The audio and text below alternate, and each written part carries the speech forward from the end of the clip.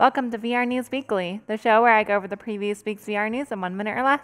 VRChat has secured the funding of $80 million to create a digital economy inside the game for creators to sell things to players. What could possibly go wrong? What inspired you to build a second Krusty Krab right next door to the original? Money! Demeo, which is basically D&D but in VR, has released their new campaign, Realm of the Rat King, as an update, so that you can roleplay with your friends and pretend you're beating Ratatouille to a pulp. How fun.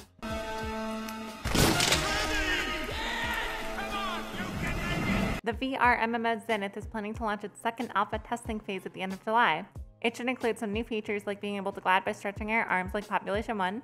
Now we just need nerve gear and we could really be living in Sword Art Online. That really hurt. That's it. Let me know what you think in the comments and see you in the next one.